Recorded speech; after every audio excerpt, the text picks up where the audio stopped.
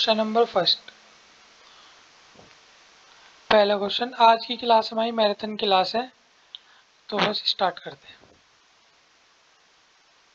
पहला क्वेश्चन है हमारा which one of these is not a mental disease इनके अंदर से कौन सी एक मेंटल डिज़ीज़ है? अब ये विजिबल होगा जहाँ तक मुझे उम्मीद है। तो मेंटल डिज़ीज़ कौन सी नहीं है? हमें पता है साइकोसिस होता है या सीजनोफीरिया होता है न्यूरोसिस है नर्व सिस्टम से रिलेटेड है तो ये भी मेंटल डिज़ीज़ है। साइकोसिस सीजनोफीरिया ही वो है दौरे पड़ते हैं जो। आ, एक तरह से सीजनोफीरिया का मतलब होता है जैसे आ, इसे शुद्ध भाषा में दौरे बोलते हैं। सीजनोफीरिया का मतलब होता है दौरे पड़ना जैसे मिर्गी वगैरह के दौरे पड़ते हैं। तो ये क्या मेंटल डिज़ीज़ है लेकिन जो हमारा अर्दिमिया है ये क्या मेंटल डिज़ीज़ नहीं है। रिदम का मतलब समझते हैं ना क्या होता है?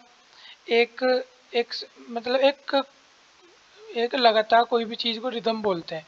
अर्जिमिया का मतलब है जब ये रिदम बिगड़ जाए और ये किसके अंदर मतलब हमारा जो हर्ट है, एक रिदम में क्या है हार्ट बीट जो हमारा हर्ट है, एक रिदम में धड़कता है। जब ये हार्ट बीट डिस्टर्ब हो जाए तो इसे क्या बोलते हैं अर्जिमिया बोलते हैं। और ये क्या हमारी एक मेंटल डिज़ीज़ नहीं है, ये क्या है कार्डियक डिज़ीज़ है। हमारी हार्ट की क्या बीमारी है। तो ये सबको आगे होगा समझ। किससे रिलेटेड है? हार्ट से।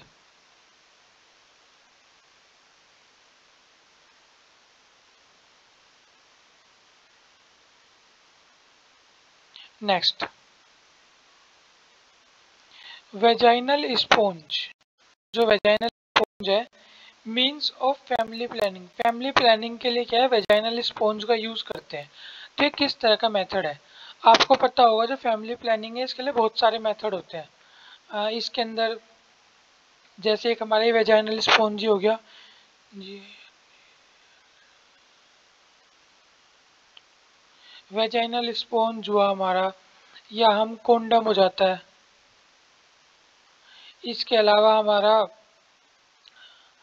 आईयूसीडी हो गया intra uterine contraceptive device IUCD हो गया, या मालाडी हो गया। सहेली हो गया। ये सब क्या है? ये एक, ये सब वो क्या है? फैमिली प्लानिंग के क्या है? मेथड है। ओल और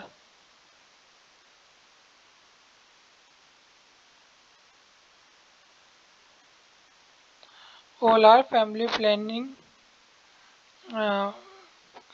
family planning instrument या all are family planning methods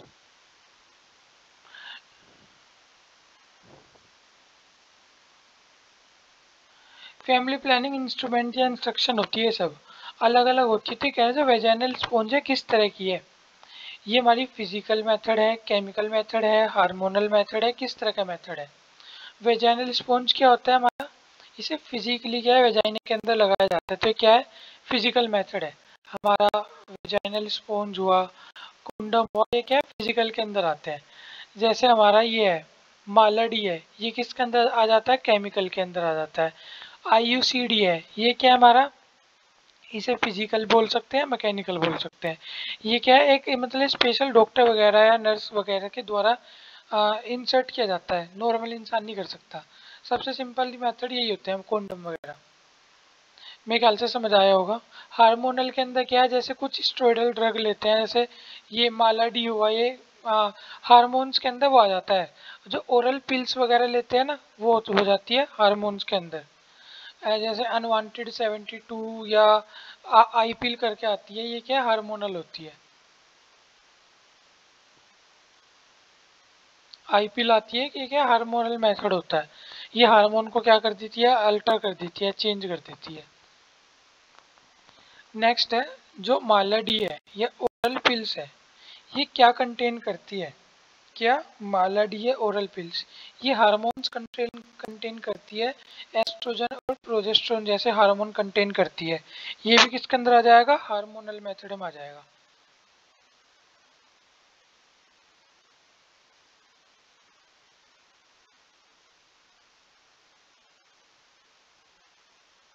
ये भी क्या? हार्मोनल मेथड है।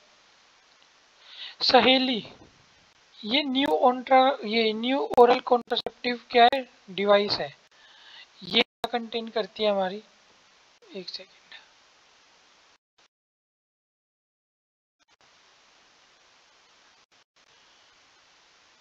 ए, ए बस एक एक सेकंड होल्ड करना है।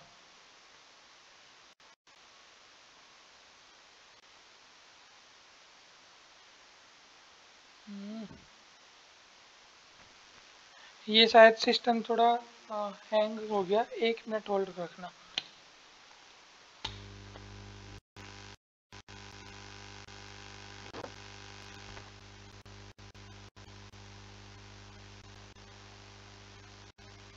हाँ। भाई सॉरी इसके लिए जो थोड़ा सा टाइम वेस्ट हुआ होगा आपका स्किप कर लेना। जो सहेली है न्यू ओरल कॉन्ट्रासेप्टिव डिवाइस है, क्या कंटेन करती है? ये करती है हमारी क्या? सेंट्रोक्रोमेन ये क्या है नॉन स्टोइडल है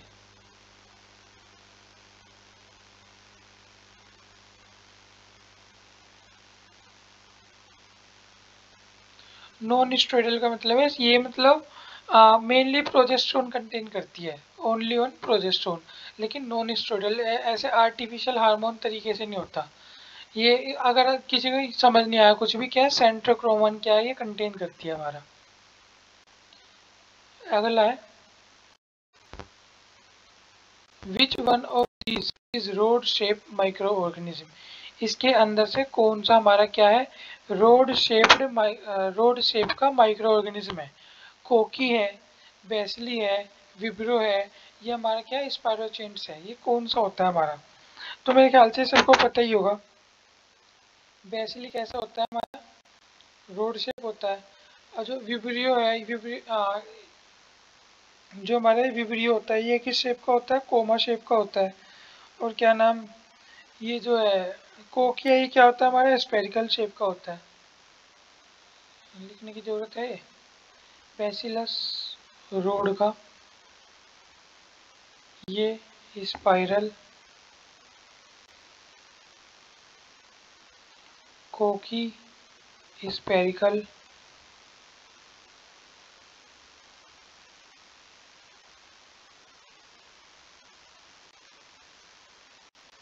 विब्रियो एक क्या, कोमा टाइप का। ये क्या हमारे इनकी शेप होती है। नेक्स्ट है, जो हमारा स्पाइरचेट से कि किस शेप का है तो स्पाइरल हम अभी पढ़ के आए हैं। बाकी भी हमने पढ़ लिया रोड से बेसिलस है स्पेरिकल शेप हमारा कोकी है। नेक्स्ट कह रहा है वाटर बोन डिज़ीज़ इज़ जो वाटर बोन डिज़ीज़ होती है, या कंटामिनेटेड वाटर से जो डिज़ीज़ फैलती है, वो कौन सी होती है?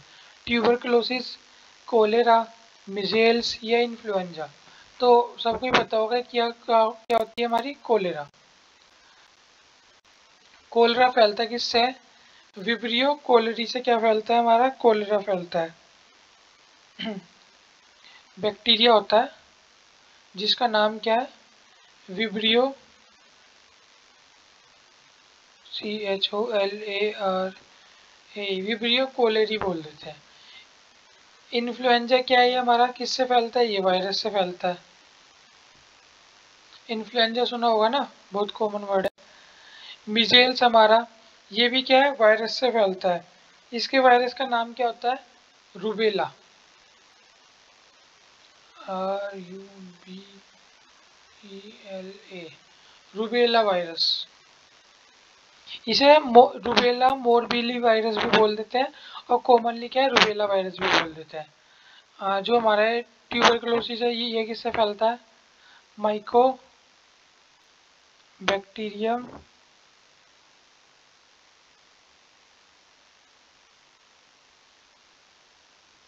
ट्यूबर क्लोसिस ये क्या हमारा ट्यूबर मतलब टीबी क्या है? ट्यूबर क्लोसिस इससे फैलता है। ये हमें याद कर लेना इम्पोर्टेंट है सब। नेक्स्ट है, जो डस्ट बोन डिज़ीज़ है, ये क्या है? देखो डायरिया हुआ टाइफॉइड हुआ ट्यूबरक्लोसिस हुआ अर्जिमिया हुआ, ये सारी डिज़ीज़ है। जो डायरिया है, ये सिंपल क्या है? अगर किसी को कुछ भी समझना है तो डायरिया से हम याद रख सकते हैं। एक लूज मोशन होते हैं। टाइफाइड हमें पता है साल्मोनिला टाइफी अरिथीमिया जो हार्ट का मतलब कॉन्ट्रैक्शन रिलैक्सेशन है, इसकी रेट अगर बिगड़ जाए आ, ये ये सब तो डस्ट से इनका लिंक नहीं है। एक बार एक बार को ट्यूबरक्लोसिस का मान सकते हैं। ये क्या हमारी डस्ट बोन डिज़ीज़ है। क्या? ट्यूबरक्लोसिस। लेकिन अगर इसकी जगह में अस्थमा वगैरह मिल जाए तो ज़्यादा ठीक रहेगा। ब्रोंकाइटिस हुआ।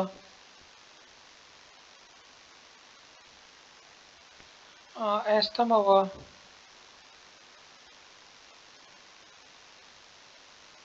इस तरह की डिज़ीज़ हो तो ये ये ज़्यादा सुटेबल बैठती है। लेकिन ठीक है, बाकी में हमें बेस्ट ऑप्शन मतलब चूज़ करना होता है।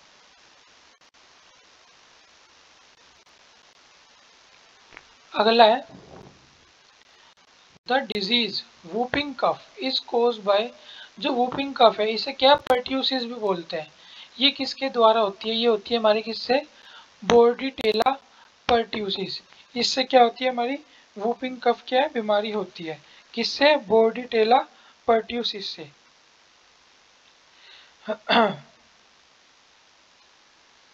एक है, ये साल्मोनेला टाइफिस से क्या होती है? टाइफाइड।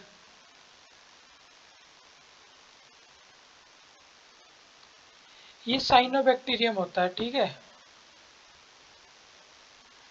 क्या होता है ये हमारा? ये साइनोबैक्टीरियम डिप्थेरिया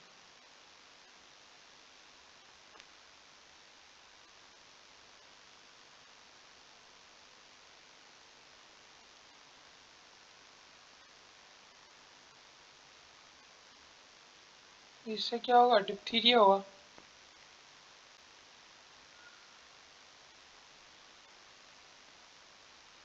इससे क्या होगा हमारा? डिप्थीरिया होगा। हाँ नेक्स्ट किसी को स्पीड में स्लो लग रही है तो थोड़ा फास्ट करके देख सकता है। In diphtheria the causative organism effect जो डिप्थीरिया है, इसके अंदर पॉजिटिव ऑर्गेनिज्म किस चीज़ को इफ़ेक्ट करता है? ये हमारे अपर रेस्पिरेटरी ट्रैक्ट को क्या करता है? इफ़ेक्ट करता है। क्या? डिप्थीरिया किससे होता है अभी हम पढ़ के आए क्या? Corynebacterium diphtheria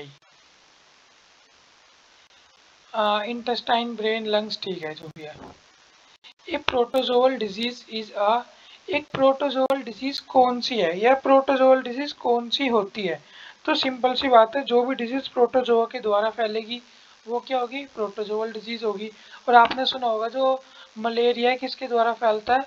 प्रोटोजोआ के द्वारा फैलता है। तो प्रोटोजोअल डिज़ीज़ हमारी कौन सी हो जाएगी? मलेरिया क्या हो गई हमारी? प्रोटोजोअल डिज़ीज़ हो गई। किससे फैलती है? प्लाज्मोडियम सुना होगा ना इसका नाम?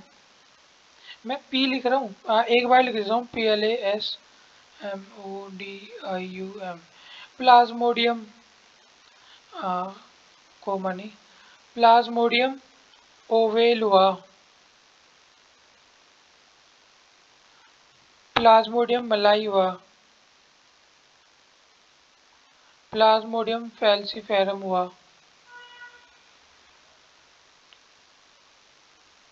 प्लाज्मोडियम मलेरिया हुआ, ये क्या इसके पॉजिटिव ऑर्गेनिज्म है, जिससे क्या है? फैलती है। टिटेनस का भी पता होना चाहिए कि इसका क्या होता है? पॉजिटिव ऑर्गेनिज्म क्लोस्ट्रीडियम टिटेनी क्या? क्लोस्ट्रीडियम टिटेनी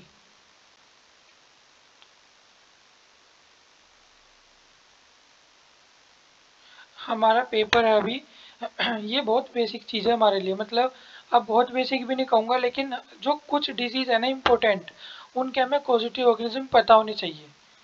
तो क्या है थोड़ा फ़ायदा होता है पेपर के अंदर। आ, ये ये सुना होगा जो डीपीटी का जो इंजेक्शन लगता है इसके लिए तो लगता है हमारा। आ, क्या नाम है? आ, इसके अंदर डिप्थीरिया होता है पी से पर्ट्यूसिस होता है टी से क्या होता है? टेटनस होता है। और ये तीनों ही क्या होते हैं? बैक्टीरिया होते हैं। ये भी पता होना चाहिए, होता क्या है? ये बैक्टीरिया होता है, याद रखना। जो हमारा मलेरिया ये क्या है? प्रोटोजोवा होता है। डिप्थीरिया तो अभी हमने पढ़ लिया, ये रहा clostridium oh sorry corynebacterium diphtheria ही। डायरिया दस्त लगना। अगला है the causative agent for filariasis is जो फिलियरिस होता है इसका पॉजिटिव ऑर्गेनिज्म क्या होता है? फिलियरिस आपने वैसे सुना होगा जैसे बहुत साधारण भाषा में इसे क्या बोल देते हैं? पील पाओ या हत्ती पाओ बोल देते हैं। ये किससे मतलब इसका पॉजिटिव ऑर्गेनिज्म क्या होता है? वुचलेरिया ब्रोन क्राफ्टी आपने ये पढ़ रखा होगा आ, क्लास ट्वेल्थ के अंदर बायो जो जूलॉजी की हमारी बुक थी जूलॉजी का बायोलॉजी होगी ना पूरी उस टाइम तो। क्लास ट्वेल्थ में जो हमारी बायोलॉजी थी उसके अंदर शायद चैप्टर नंबर एट था डिज़ीज़ वाला। उसके अंदर ये वुचलेरिया ब्रोन क्राफ्ट जो भी हम ऊपर मलेरिया वगैरह पढ़ के आए हैं मलेरिया की तो बहुत अच्छे से साइकिल भी समझा रखी थी ट्वेल्थ क्लास में। अगर किसी को थोड़ा डिटेल में जानना हो तो मैं यही सलाह दूँगा उसे वो ट्वेल्थ क्लास में जो मलेरिया की लाइफ साइकिल थी वो पढ़ सकता है। हमारे पास अभी टाइम नहीं है नहीं तो हम ज़रूर पढ़ते। और मतलब बहुत मज़ा आता है पढ़ने में भी आ, ऐसे टॉपिक लेकिन ठीक है, अभी हमारे पास टाइम नहीं है तो छोड़ दो। इसके अलावा जो बाकी देख लेते हैं, जैसे प्लाज्मोडियम फेल्सीफेरम हुआ। अभी मैं थोड़ी देर तक तो मैं लिख रहा हूँ ये, जैसे रिपीट होने लगेंगे, फिर मैं इन्हें लिखना छोड़ दूँगा। प्लाज्मोडियम जैसे फेल्सीफेरम यहाँ लिखा ना प्लाज्मोडियम फेल्सीफेरम किसके लिए? मलेरिया के लिए। ये दिख रहा होगा मेरा कर्सर तो ये क्या? मलेरिया। मुझे ऐसा लग रहा है कर्सर भी आ, ये ग्रीन कलर का हो गया मैं ये भी ग्रीन कलर से करता जा रहा हूँ। तो इससे शायद दिखने में प्रॉब्लम हो रही होगी। चेंज कर लेते हैं हम हाईलाइट आगे। आ, क्या नाम है हमारा? सालमोनीला टाइफाई क्या हो गया? टाइफाइड का। दोबारा बता रहा हूँ जिसे आवाज़ स्लो लग रही है वो फास्ट करके देख सकता है। क्लोस्ट्रीडियम टिटेनी ये पूरा नाम है। और ये ये क्या है? टिटनेस का है। ठीक है? ये चेंज कर लेते हैं कलर क्योंकि मुझे ऐसा लगा कि ग्रीन पे ग्रीन ना दिखे कभी। और वही थोड़ा आवाज़ को ध्यान से सुनना, क्योंकि मैं बहुत सारी चीज़ बोलूँगा अभी, और मुझे बहुत अच्छा लगा। बीच में दो मिनट ख़राब कर रहा हूँ, आपकी कोई बात नहीं। लेकिन एक मतलब मेरे भाई का या ब्रदर का एक मैसेज आया था कि सर आप कोई कोई बात नहीं आप लिखने में ज़्यादा वो हो तो आप बोल के भी बता सकते हो जो हम ना ध्यान से समझ भी लेंगे। मुझे पता है कि हमारी वीडियो के अंदर आवाज़ का इशू है। इसके बाद भी आप इतना सपोर्ट करते हो कि ठीक है हम फिर भी सुन के काम चला लेंगे। आ, तो उसके लिए थैंक यू सो मच आप इतना ज़्यादा क्या बोलते हो सर प्रोत्साहन दे रहे हो तो थैंक यू सो मच। आगे। बस इतनी बात करनी थी। द कैरियर ऑफ़ रेबीज जो रेबीज है क्या फैलता है? तो सबको पता है बहुत सारे लोगों के इंजेक्शन लग भी रहे होंगे कुत्ते काट लेते हैं तो फिर आ, वो लगाते हैं। जो क्या नाम है किससे फैलता है रेबीज हमारा? डॉग से फैलता है क्या? कुत्ते से फैलता है क्या रेबीज और रेड से क्या फैलता है हमारा? प्लेग पता होगा। और काउ से सीप से कुछ ऐसा नहीं फैलता।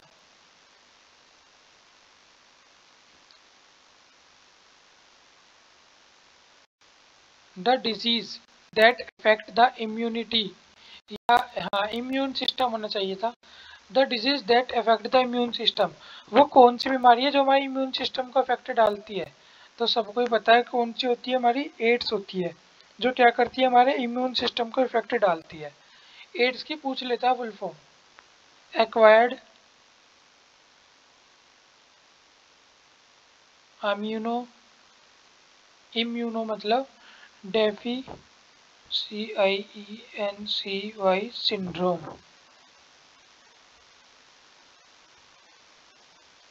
ये होता किससे है? एच आई वी वायरस से होता है, ये भी पता होना चाहिए। किससे होता है? एच आई वी से।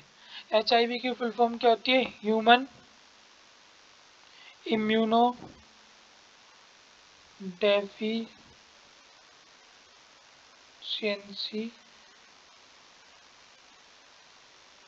human immuno deficiency virus ये एड्स की फुल फॉर्म तो क्या हो गई? एक्वायर्ड इम्यूनो वाली AIDS acquired immunodeficiency syndrome H human immunodeficiency syndrome इनसे क्या हमारा एड्स और एड्स होता है? ये क्या है? हमारी इम्यूनिटी को लो कर देता है। इसके ऊपर भी बहुत लंबी वीडियो बन सकती है। एड्स हमारा रेट्रोवायरस है आर एन रेप्लीकेशन होता है सेल के अंदर जाता है। और असल में बताए ना तो एड्स कोई बीमारी है ही नहीं। जैसे डिज़ीज़ लिख रखा है ना, एड्स तो कोई डिज़ीज़ है ही नहीं। इसके अंदर कुछ नहीं करता ये हमारा। ये क्या है बस ये क्या है? मतलब बहुत सारी बीमारियों को न्योता देता है कि आओ और इस इंसान को बीमार करके मार दो। ये खुद कोई बीमारी करते ही नहीं है। किसी इंसान को एड्स है, उसे कुछ भी नहीं है। अगर किसी भी व्यक्ति को एड्स है तो उसे कोई सिम्टम है ही नहीं, क्योंकि वो ये कुछ करते ही नहीं है। लेकिन अगर किसी इंसान को एड्स है और उसे फिर सिंपल क्या बोलते हैं, बहुत सिंपल जुकाम भी हो गया तो निमोनिया से मर जाए मर जाएगा वो बेचारा। तो इस तरह की बीमारी है। अभी इस पर ज़्यादा बात करने का हमारे पास समय नहीं है तो छोड़ते हैं। आगे के लिए टॉपिक रखते हैं इसे। हमारे लिए जो इम्पोर्टेंट था हमने कर लिया। लेप्रोसी ये सबको पता होगा माइक्रोबैक्टीरिया माइको एम वाई होगा ना M Y C O B A C T E R I U M mycobacterium leprae ये क्या लेप्रोसी है? कैंसर तो पता ही होगा आपको ओनकोजेनिक या कार्सिनोजेनिक।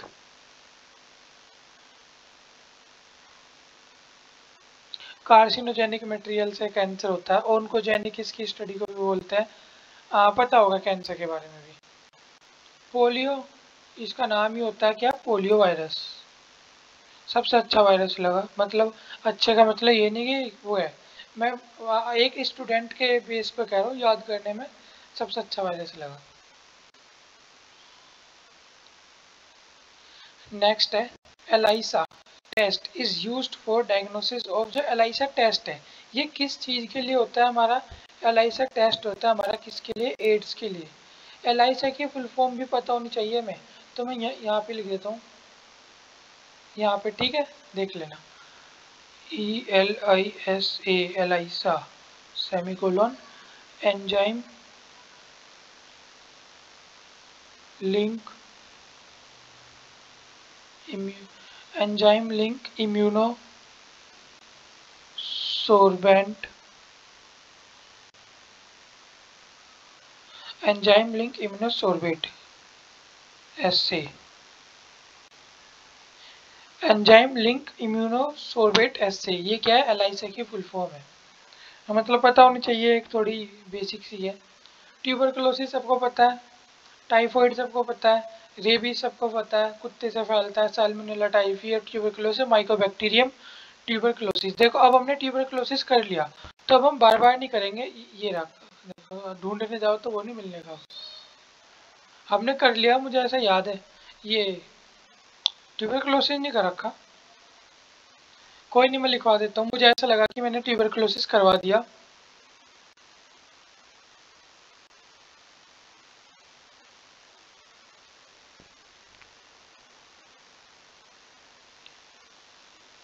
माइकोबैक्टीरियम ट्यूबरक्लोसिस ये क्या टीवी से फैलता है हमारा माइकोबैक्टीरियम ट्यूबरक्लोसिस रॉबर्ट कोच ने इसकी खोज की थी, याद हो? हाँ नेक्स्ट है हमारा। निरोध इज़ अ जो निरोध है, ये क्या है? तो सबको पता होगा, निरोध क्या, किस किस नाम से आते थे? शायद अब नहीं पता। पहले इनका टीवी में ऐड आता था तो ये किसमें आते थे? कोंडम होते हैं। ये आई यू सी डी होगा intra uterine contraceptive device diaphragm loop ये सब क्या? यही है। फैमिली प्लानिंग मेथड है, या इसके इंस्ट्रूमेंट है। एक कह रहा है liver store in glucose as जो हमारा लीवर है ना, ये एक्सेस ग्लूकोज को स्टोर करके रख लेता है। किस फॉर्म में? ये किस फॉर्म में रख लेता है? ग्लाइकोजन की फॉर्म में रख लेता है। क्या? एक्सिस ग्लूकोज को स्टोर करके। मतलब हम कह सकते हैं ग्लूकोज हमारी बॉडी के अंदर किस फॉर्म में स्टोर होता है? ग्लाइकोजन की फॉर्म में स्टोर होता है। नेक्स्ट है।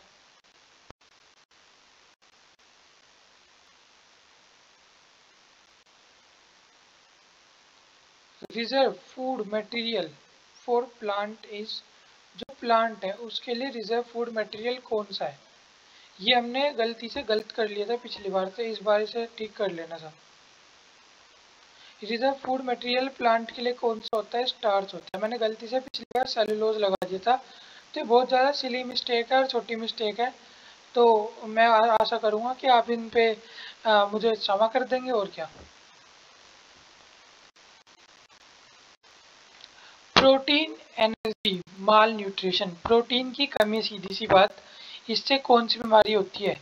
इससे हमारी बीमारी होती है क्वासिकोर और मारसमस। क्या क्वासिकोर और मारसमस? तो मारसमस हमें मिल गई। तो ये क्या है? मारसमस।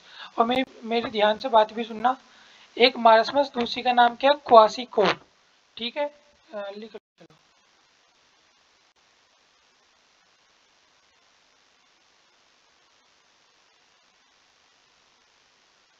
ये क्या है? क्वासिकोर। और मारसमस मेरे ख्याल से स्पेलिंग साढ़े शायद थोड़ी गलत है। क्वासी कोर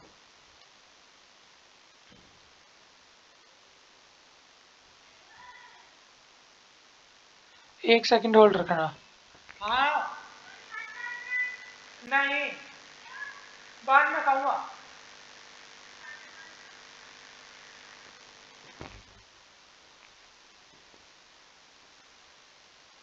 हाँ क्वासिकोर और मारसमस। डायबिटीज़ सबको पता है, इंसुलिन की कमी से मतलब एक तरह से बॉडी के अंदर ग्लूकोज लेवल बढ़ जाना, जो क्या इंसुलिन की कमी से होता है। इंसुलिन किससे निकलता है? हमारी पेनक्रियाज की बीटा सेल से क्या निकलता है? इंसुलिन। उसकी कमी से क्या हो जाती है? डायबिटीज़। और ज़्यादा खाना खाने से क्या हो जाता है? ओबिसिटी ज़्यादा खाने का मतलब है कि हम अनहेल्दी फ़ूड ज़्यादा खाएँ और काम कुछ करें ना। और कैंसर तो आप कुछ भी खा लो, वो तो इसका तो यही नहीं पता, किससे होना, किससे नहीं होना, हर चीज़ से कैंसर होता है। अगर आप गूगल पर कुछ भी सर्च करोगे does it cause cancer yes is it cause cancer तो कैंसर तो हमारे फ़ूड से और सनलाइट से, यहाँ से फुलाना, ढिकाना हर जगह से होता ही अगला the example of unsaturated fatty acid unsaturated fatty acid का एग्ज़ाम्पल क्या है? तो अनसेचुरेटेड फैटी एसिड का एग्ज़ाम्पल होता है हमारा ओलिक एसिड ये क्या है एक अनसेचुरेटेड एंड फैटी एसिड होता है हमारा, क्या? ओलिक एसिड नेक्स्ट पे चले।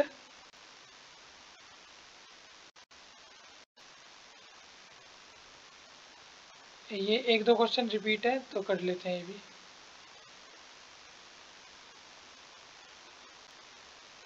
जो रिज़र्व फ़ूड मटेरियल है प्लांट का, ये क्या है हमारा?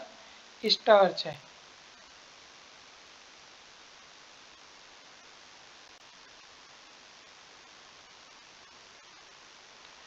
प्रोटीन, एनर्जी माल न्यूट्रिशन क्या कोज करता है हमें? मारसमस ये वो बीमारी होती है मतलब एक एक बीमारी के अंदर तो इंसान पूरा ही पतला रहेगा। ये तो प्रोटीन की कमी है। दूसरी बीमारी के अंदर क्या है?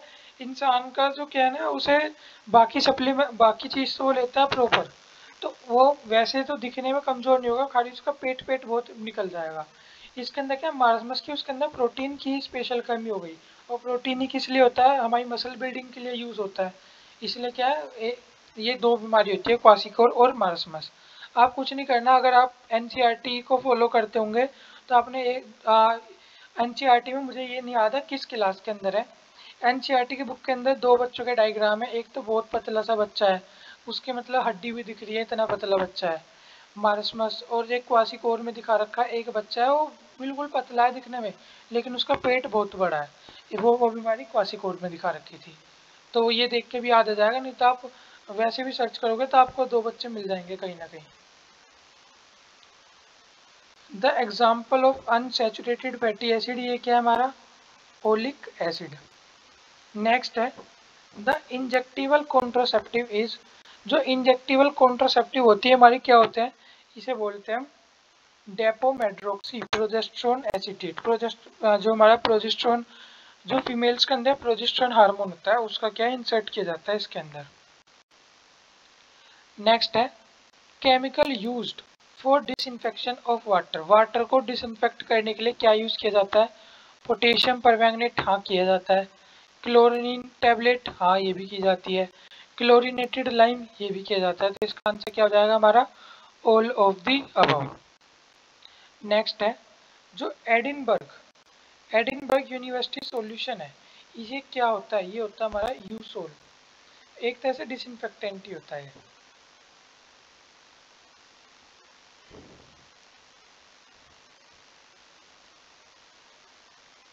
डिसइंफेक्टेंट की तरह भी यूज़ होता है।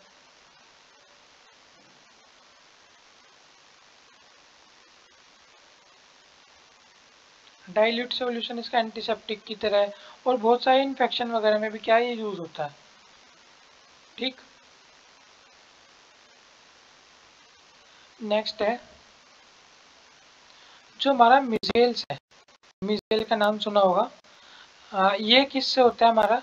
मिजेल हमारा रुबेला वायरस से होता है। किस वायरस से होता है हमारा? रुबेला वायरस से। क्या? मिजेल्स बीमारी आ, इसे रूबेला मोरसिबली वायरस भी बोल देते हैं, कई बार रूबेला भी बोल देते हैं। जो रूबेला है rubella virus contain in nucleus जो रूबेला वायरस है इसके न्यूक्लियस में क्या होता है? डीएनए आरएनए है, दोनों। तो इसके अंदर क्या होता है? आरएनए एक सेकंड और होल्ड दो सेकंड में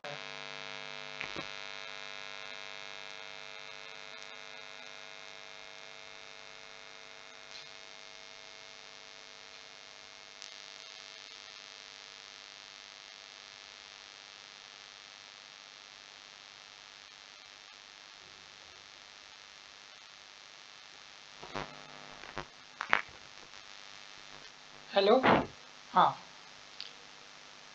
जो हमारा ये है मेंटॉक्स टेस्ट ये किस चीज़ के लिए किया जाता है? तो ये हमारा ट्यूबरक्लोसिस के अंदर किया जाता है, क्या? मेंटॉक्स टेस्ट और नेक्स्ट क्वेश्चन पे चलते हैं।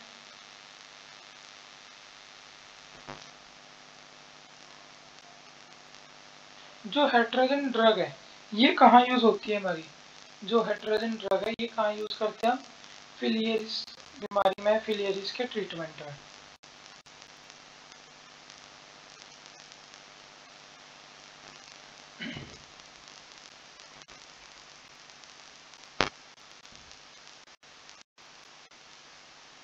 सिफिलिस है। ये किसके द्वारा किया जाता है हमारा? मतलब जो सिफिलिस बीमारी है, किसके द्वारा होती है? ये होती है हमारी किसके द्वारा? ट्रेपोनमा पैलिडस के द्वारा क्या होती है? Syphilis which one of this is a sexually transmitted disease इसे शॉर्ट फॉर्म में एस टी डी एस भी बोल देते हैं। एस टी डी बोलते हैं वैसे तो। S T D sexually transmitted disease को डी एस लिख दिया। ये इसके अंदर से कौन सी है? क्या मलेरिया सेक्सुअली ट्रांसमिटेड ट्रांसमिटेड होता है? नहीं. कोलेरा होता है? नहीं. लेप्रोसी होता है? नहीं. क्या होता है? हमारा गोनोरिया होता है. नेक्स्ट है. An example of non communicable disease non communicable disease का कौन सा एग्ज़ाम्पल है हमारा? सीधी सी बात है, ये सब फैल जाती है, लेकिन कैंसर हमारा क्या है? कम्युनिकेट नहीं होता. आपने सुना होगा, कैंसर क्या कम्युनिकेबल नहीं होता। कार्सिनोजेनिक से होता है। कार्सिनोजेनिक मटेरियल से या थिंग्स से होता है हमारा क्या? कैंसर एक होता है हमारा क्लोरोजाइनोल ये क्या होता है? क्लोरोजाइनोल क्या है? डिटोल का फॉर्मूला या कुछ कंस्टिट्यूएंट बोल सकते हैं किसका? डेटोल का। नेक्स्ट है। पैरासाइटिक डिज़ीज़ कौन सी है? ऐसी कौन सी डिज़ीज़ पैरासाइट से होती है? बहुत सिंपल है क्या? आ, क्या नाम? मलेरिया ये हम पहले पढ़ चुके हैं तो इसका खाली नाम मुँह से बोल देते हैं। मलेरिया किससे होता है? पैरासाइट से होता है। प्रोटोजोआ पता है ना हमें? इसका जो मतलब पॉजिटिव ऑर्गेनिज्म है उसका क्या नाम होता है? Plasmodium vivax plasmodium falciparum plasmodium ovale ये क्या? मलेरिया हमारा। जो हमारा टाइफाइड है ये किससे होता है? सालमोनिला टाइफी ये क्या हमारा? टाइफॉइड का वो है। पोलियो किससे होता है? पोलियो वायरस से होता है। हेपेटाइटिस इसके तो बहुत सारे हैं। Hepatitis A B C D चलती रहते हैं। ये कह रहे कोई डिज़ीज़ है ना, वो पूरे ब्रह्मांड से अगर खत्म हो जाए तो उसे क्या बोलते हैं? उसे बोलते हैं इरेडिक्शन जैसे अभी कोरोना के बारे में हमें पता है। कोरोना क्या पूरे संसार में फैल गई थी, खत्म नहीं थी, फैल गई थी। तो ऐसी बीमारी को क्या बोलते हैं? पेंडेमिक पेन का मतलब होता है all over the world epidemic epidemic वो होती है जो एक क्षेत्र तक ही रहती है। जैसे कोई डिज़ीज़ है उसी एरिया या उसी देश में रही और कहीं आगे नहीं गई तो एपिडेमिक डिज़ीज़ होगी वहाँ के लिए। अगला rod shape of sorry the shape of cocci. जो हमारे कोकी होते हैं, इनकी शेप क्या होती है? तो ये सबको पता है कोकी की शेप क्या होती है, हमारी स्पेरिकल होती है। रोड लाइक शेप किसकी होती है? बेसिली की होती है। और जो हमारा स्प्रोनचीट्स था, ये किसकी होती है? स्पायरल की। हमने कर रखे हैं, इसलिए हम रिपीट नहीं कर रहे हैं। बैक्टीरियो मतलब बैक्टीरिया स्टेटिक मतलब रोकना। तो बैक्टीरिया स्टेटिक क्या हो गया? Inhibit the growth of bacteria लेकिन अगर यहाँ बैक्टीरिया साइडल आ जाए तो वो क्या हो जाएगा? किलिंग बैक्टीरिया मतलब अगर ये लिखा जाए B A C T E R I O C I T A L cidal का मतलब क्या होता है? किल करना. तो बैक्टीरियो और साइडल आ जाए तो मतलब किल द बैक्टीरिया हाँ ये. क्लोरहेक्सिडिन इज़ यूज़ एज जो क्लोरहेक्सिडिन है. किस तरह यूज़ होता है? तो क्लोरहेक्सिडिन एज एंटीसेप्टिक गार्गल वगैरह में भी यूज़ करते हैं. ये क्या है? एज एंटीसेप्टिक ये याद रखना डिसइंफेक्टेंट और एंटीसेप्टिक में क्या अंतर होता है? एंटीसेप्टिक तो ह्यूमन यूज़ के द्वारा किया जा सकता है, लेकिन डिसइंफेक्टेंट क्या नॉन लिविंग चीज़ पे किया जाता है? जैसे फर्श वगैरह को साफ़ करने में यूज़ होता है डिसइंफेक्टेंट या डिसइंफेक्टेंट और जो एंटीसेप्टिक है ह्यूमन स्किन पे या इजिली क्या अप्लाई कर सकते हैं। यही होता है इसके अंदर। जो रोमैटिक फीवर है, ये किसके द्वारा होता है हमारे? ये आर के द्वारा। रिस्क फैक्टर फॉर हाइपरटेंशन जो हाइपरटेंशन है, आज की डेट में सबको ही होती है अधिकतर को मतलब मैं नहीं कह रहा हूँ कि सबको होने, होती ही है। मतलब अधिकतर लोग को ये ये उनकी हरकतें मतलब आदतें ऐसी हैं कि इसके चांस क्या बहुत ज़्यादा बढ़ जाते हैं। सबसे पहले तो हाई सोल्ट इनटेक आजकल हमारे खाने में क्या ज़्यादा इनटेक होता है सोल्ट का। जो भी हम खाना खाते हैं फास्ट फ़ूड वगैरह। ओबिसिटी इसी खाने से क्या है ओबिसिटी आती है। और ये खाना क्या है, ये हाईली फैटी फ़ूड होता है तो फैट इनटेक भी बढ़ता है। तो ऑल ऑफ़ दीज क्या इसके कारण है। ये सारी क्या इसके कारण है। अगले क्वेश्चन पे चलते हैं। हेपेटाइटिस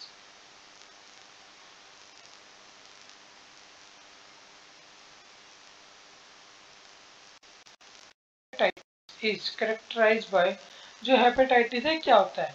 सीधी सी बात है, हम वही कीवर्ड पे चलते हैं अपने। हेपा मतलब लीवर आइटिस मतलब इन्फ्लामेशन तो इन्फ्लामेशन ऑफ़ लीवर क्या हो गया? हमारा हेपेटाइटिस हो गया। इन्फ्लामेशन ऑफ़ लंग्स जो लंग्स है इसके इन्फ्लामेशन को क्या बोल देंगे?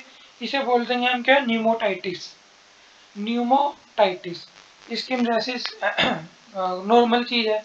एडिमा क्या होता है? आ, ये होता है कि हमारी जो स्किन है ना इसके अंदर एक तरह से पानी से भर जाता है। स्वेलिंग ऑफ़ स्किन बोल सकते हैं सिंपल भाषा में।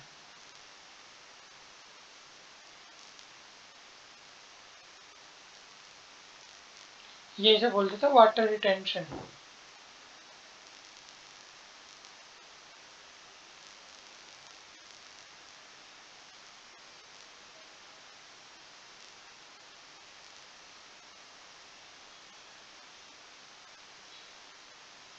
water retention under skin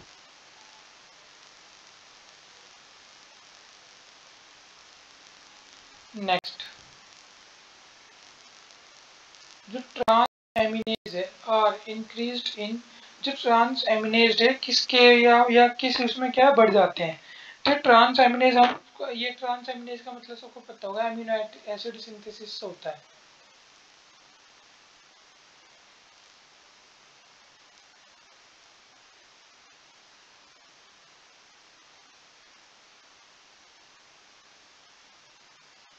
amino acid synthesis होता है इसका मतलब। इसके अंदर ये क्या होता है? इसके अंदर हेपेटाइटिस कंडीशन होती है। मतलब लीवर के अंदर क्या इन्फ्लेमेशन आने लगती है। अब हमें दोबारा, जो डिप्थीरिया है, ये हम क्या पहले भी पढ़ के आ चुके हैं। जो डिप्थीरिया ये किससे होता है हमारा? साइनोबैक्टीरियम डिप्थीरिया से होता है। अब मेरे मतलब जो मैं बोल रहा हूँ उस पर ध्यान देना। एक बार मैं लिख चुका। अब मैं क्या बोल दूँगा? तो जिसे मतलब मेरी मतलब बोलने में समझ ना आए। तो पीछे जाके उसका नाम नोट कर सकता है, जो नोट्स बना रहा होगा। और जिसे मेरी आवाज़ समझ आ रही है तो वो खाली सुन के क्या अपने रिवाइज कर सकता है? जैसे डिप्थीरिया ये किससे? साइनोबैक्टीरियम हमारे डिप्थीरिया से होता है। ट्यूबरक्लोसिस किससे होता है? माइकोबैक्टीरियम ट्यूबरक्लोसिस से होता है। कोलेरा किससे होता है? विब्रियो कोलेरी से। हमारा क्या होता है? कोलेरा फैलता है। तो अब ये ऐसे हमें याद करना है। जैसे मैं इन्हें बोलूँ ना तो आप भी अपने आई आई क्लोज करके अपने मन में सोच सकते हो क्या नाम है।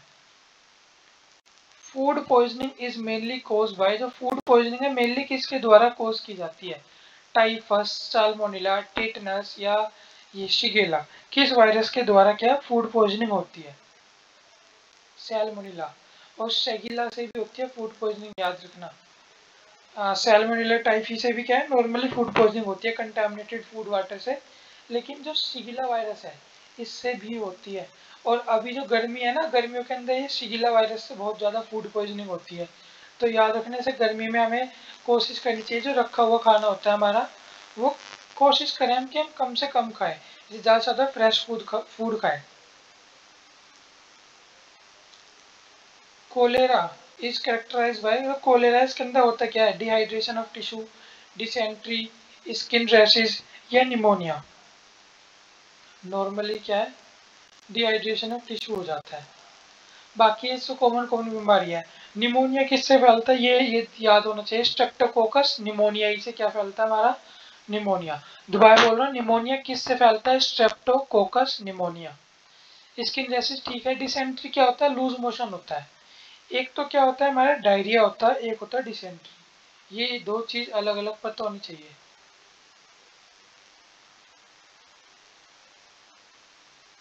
एक तो डायरिया। ये तो सिंपल लूज मोशन होते हैं। और अगर इसी के बेस पे हम, ये भी लूज मोशन ही होते हैं। लेकिन डिसेंट्री को हम क्या बोलते हैं? इंटेस्टाइन। Intestinal inflammation.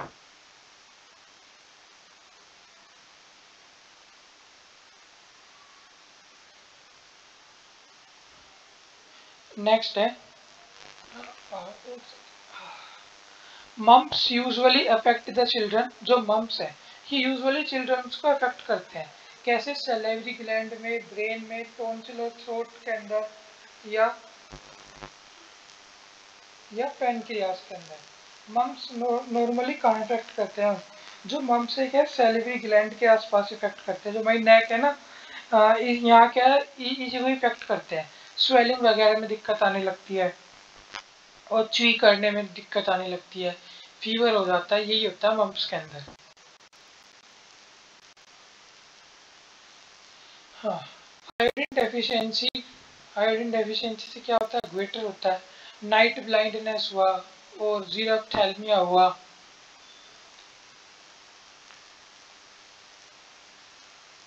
ये क्या है सर विटामिन ए की खालिस्तानी। मतलब विटामिन ए की कमी से। वाइटन ये विटामिन ए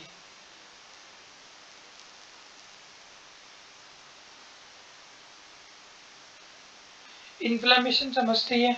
सब कुछ ठीक है, अगले पे चलते हैं। नेक्स्ट है। Increase demand of oxygen cause जो इंक्रीज डिमांड होती है ना ऑक्सीजन की किसके अंदर होती है? देखो ये सब चीज़ ना अलग अलग है, इनके बारे में समझ लेना। हमें अगर हम पढ़ते हैं ना माइयोकार्डियल इन्फेक्शन हुआ हाइपरटेंशन हुआ एंजाइना पेक्टोरिस हुआ कंजेस्टिव हार्ट फेलियर हुआ हमें तो सब कुछ एक जैसे लगता है। हाँ ना हार्ट की बीमारी है बस काम खत्म। लेकिन जो हमारा जो इंक्रीज डिमांड ऑक्सीजन की किसके अंदर बढ़ जाती है? ये बढ़ जाती है हमारी एंजाइना पेक्टोरिस इसके अंदर क्या है? हमारे जो हार्ट को ऑक्सीजन की सप्लाई नहीं मिल पाती पूरी। तो इसलिए क्या है? इस केस में क्या है? आ, इसकी डिमांड बढ़ जाती है। इसे सिंपली चेस्ट पेन से भी याद रखते हैं कि एंजाइना पेक्टोरिस का मतलब क्या है? चेस्ट पेन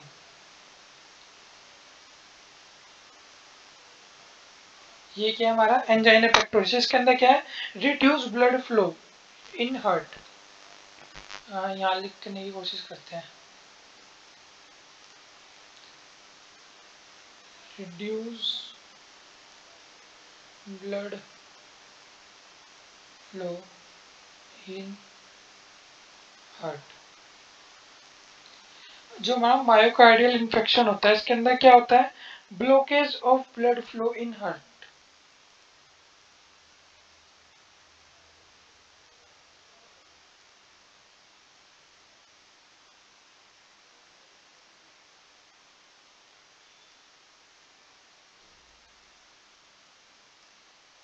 अब ब्लॉकेज का मतलब कि जो वीन्स है, उसके अंदर कोलेस्ट्रॉल वगैरह जम जाएगा। तो इससे क्या है हार्ट हार्ट जो ब्लड फ्लो उसके अंदर ब्लॉकेज आने लगती है। और कंजस्टिव हार्ट फेलियर भी क्या है। इसका तो बिल्कुल ही खतरनाक है कि हार्ट डजेंट पंप ब्लड इसमें क्या है हार्ट स्टॉप पंपिंग इसके अंदर तो हार्ट क्या है पंप ही करना छोड़ देता है। ये क्या हमारी सारी कंडीशन है। हाइपर टेंशन सबको पता है, इसलिए मैंने बताया नहीं। इसके अंदर क्या है? जो ब्लड फोर्स है ना, हमारी आर्टरीज के अंदर वो हाई हो जाता है। High blood force on trees full next पे चलते हैं।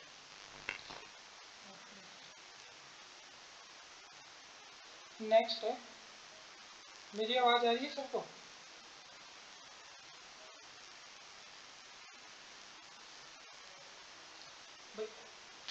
I am so sorry bye bye बीच में एक एक दो दो मिनट डिले हो रहा है। ये कुछ प्रॉब्लम आ रही है। Which one of these is a bacterial disease इनके अंदर से कौन सी क्या है बैक्टीरियल डिज़ीज़ है? तो ये देखते पता लग रहा है salmonella typhi chicken pox influenza amoebiasis तो इसके अंदर कौन सी है हमारी साल्मोनेला टाइफी ये क्या हमारी बैक्टीरियल डिज़ीज़ है?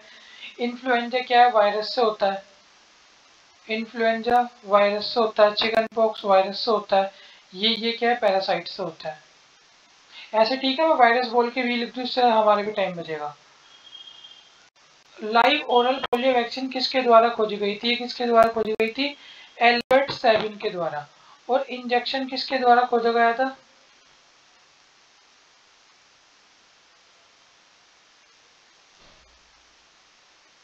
जो पोलियो का इंजेक्शन है, वो इनके द्वारा खोजा गया था 1955 में। इन्होंने तो क्या है, पोलियो मतलब जो पोलियो है, इसका इंजेक्शन की खोज करी। और जो एल्बर्ट सेविना इन्होंने क्या है उन्नीस सौ पैंसठ में। ओरल पोलियो वैक्सीन की क्या कर दी, खोज कर दी। इसके अंदर तो किल होते हैं, जो पोलियो के वायरस होते हैं, इसके अंदर क्या होता है, लाइव होते हैं। तो ये ये बात भी क्या है, याद रखने वाली है। पोलियोवैलेंट वैक्सीन होती है more than multipurpose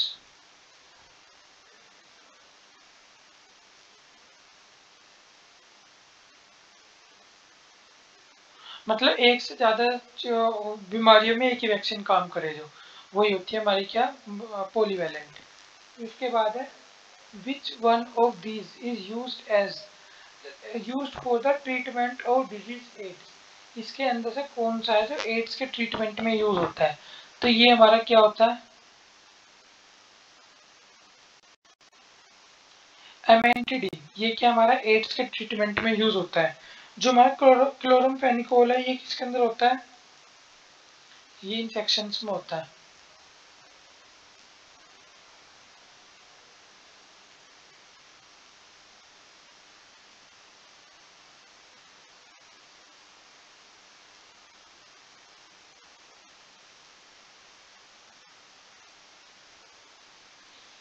Serious infection in different part of body जो हमारा रिफेम्बिसिन है, ये किसके अंदर होता है? ये हमारा टीबी ट्यूबरकुलोसिस के अंदर होता है।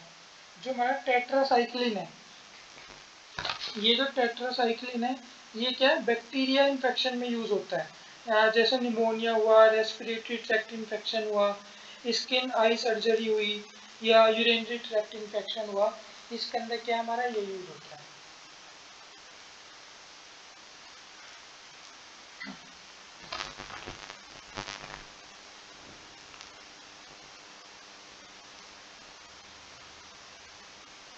बैक्टीरिया इन्फेक्शन स्किन मतलब यूरिनरी ट्रैक्ट इन्फेक्शन हुआ रेस्पिरेटरी ट्रैक्ट इन्फेक्शन हुआ स्किन डिज़ीज़ हुई इन सब में यूज़ होता है।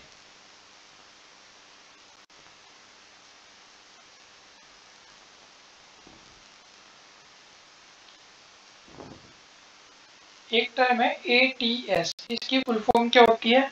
Anti tetanus serum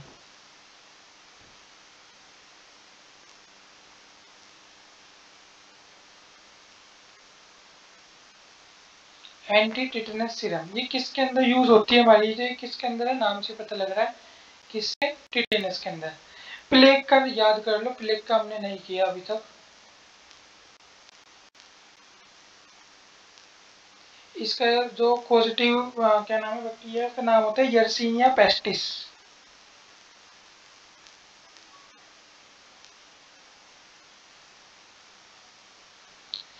जो डिप्थीरिया है तो साइनोबैक्टीरियम डिप्थीरिया हो गया लेप्रोसी माइकोबैक्टीरियम लेप्रोसी हो गया। और जो टेटनस है, क्या होता है हमारा? क्लोस्ट्रीडियम टिटेनी हाँ। इसे हम क्या है? लोग जो डिज़ीज़ भी बोलते हैं।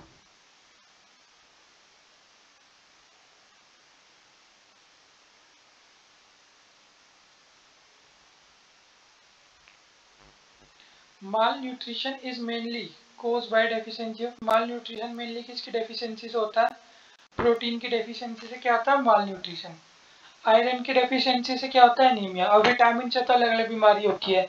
विटामिन ए से रेटिनोल बी से बेरी सी से स्कर्वी डी से रिकेट्स मलेरिया इस तरह अलग अलग होती है। मलेरिया किसके द्वारा फैलाया जाता है? तो मादा एनाफिलिस मच्छर के द्वारा क्या फैलाया जाता है? मलेरिया क्यूलक्स से क्या फैलाया जाता है? जापानीज इंसेफ्लाइटिस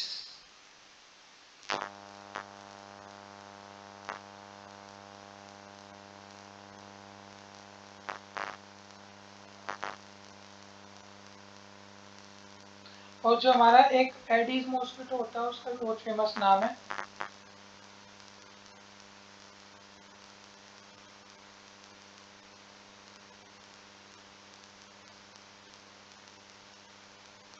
एडीज मॉस्किटो, ये क्या डेंगू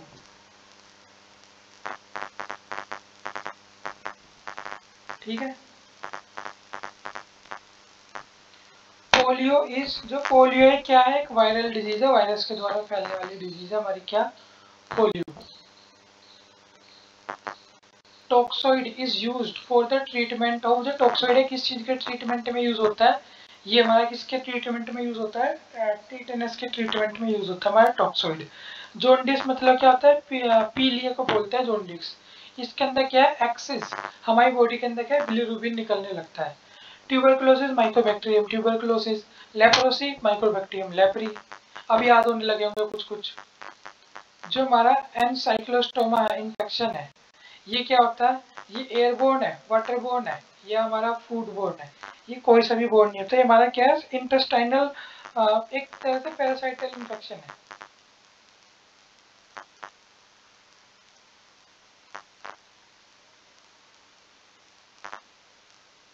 इसे इंटेस्टाइन इन्फेक्शन बोल देते हैं।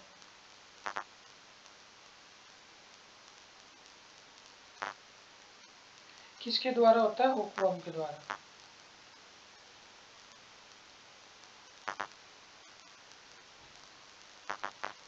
नेक्स्ट है। एक मिनट हाँ। Normal incubation period of typhoid जो टाइफॉइड है, इसका नॉर्मल इंक्यूबेशन पीरियड कितना होता है? तो ये हमारा क्या है? दस से पंद्रह दिन होता है क्या हमारा इंक्यूबेशन पीरियड टाइफाइड के बारे में कुछ पता करना है? कुछ भी नहीं सालमोनेला टाइफी से होता है। Characteristics of food poisoning food poisoning की क्या कैरेक्टरिस्टिक है? अगर किसी को फ़ूड पॉइजनिंग हो जाती है तो क्या उल्टी आएगी, उल्टी आने का मन होगा और दस्त वगैरह भी लग जाएँगे तो क्या all of the above loose motion मतलब। जो पॉपुलर आईयूसीडी है, ये क्या है हमारी? कॉपर्टी बहुत पॉपुलर है। ये तो फ़िज़िकल मेथड है फ़िज़िकल है क्रीम भी है। आई की फुल फॉर्म क्या है? Intrauterine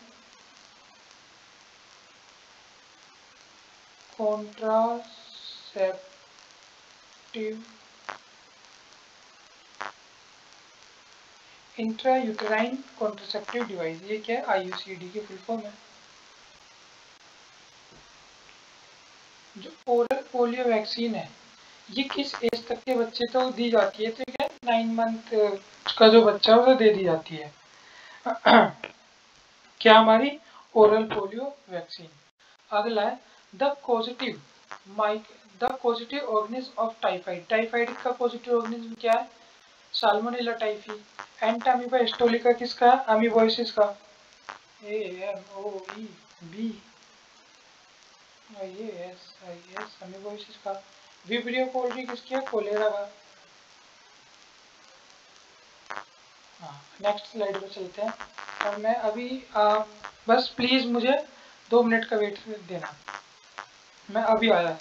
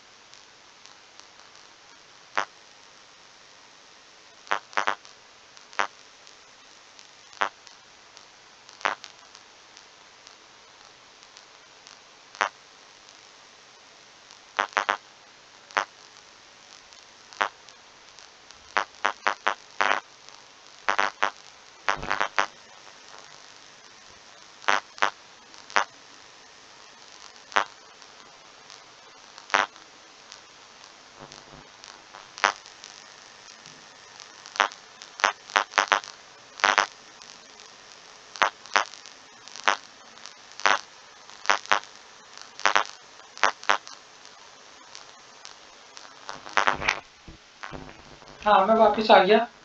thank you so much मतलब ये देने के लिए और इसे स्किप कर सकते थे, जिसे भी जाना हो, वो होता। तो ठीक है स्टार्ट करते हैं। वीडियो में एडिटिंग नहीं हो पाती। अब एक मिनट हो जाना पड़ेगा। मैं अभी आके बता रहा हूँ एक मिनट हो जाएगा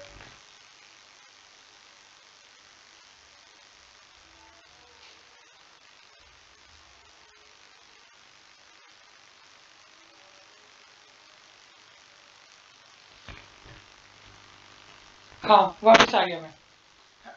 अगला क्वेश्चन करते हैं।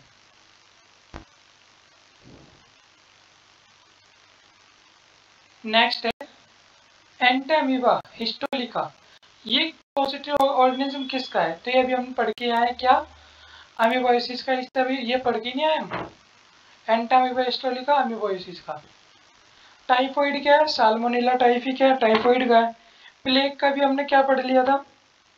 Yersinia pestis. ये भी पढ़ के आए हम ये रहा देखो, कहाँ गया? प्लेग।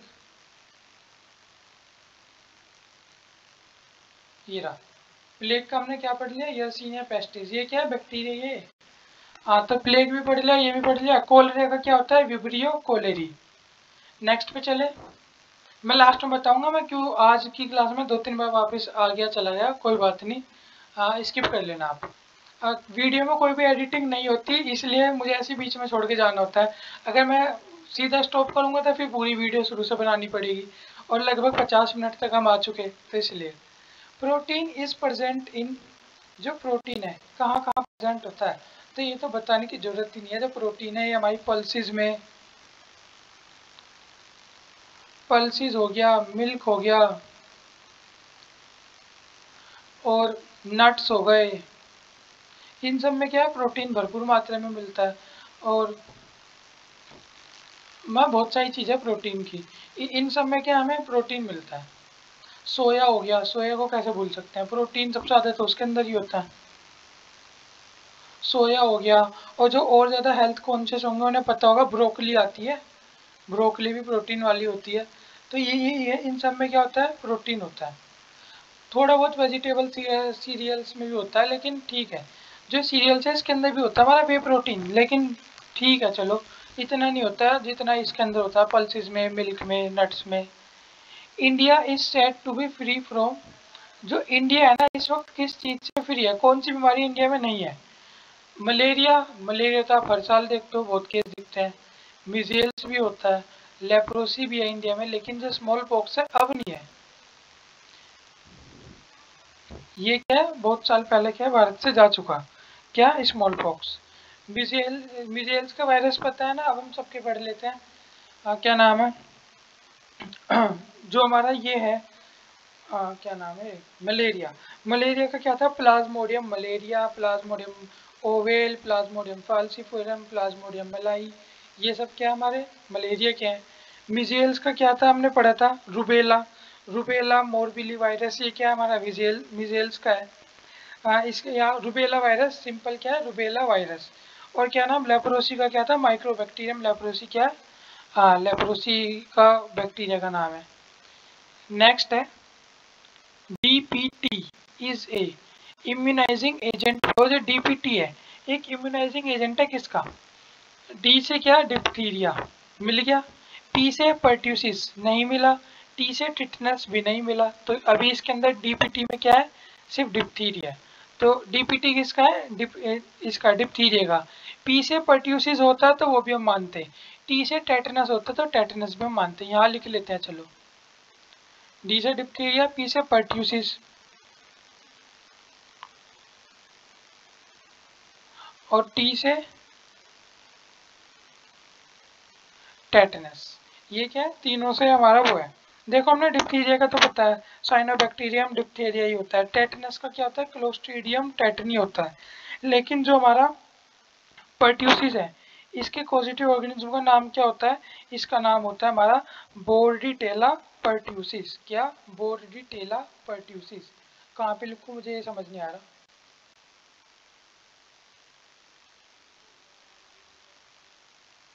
छोटा करना पड़ेगा।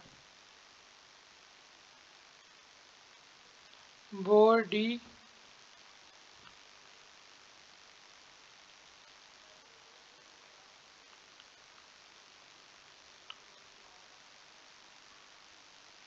bordetella pertussis cholera, vibrio, cholerae, typhoid, salmonella, typhi, polio polio virus vitamin C की डेफिशिएंसी से क्या होता है?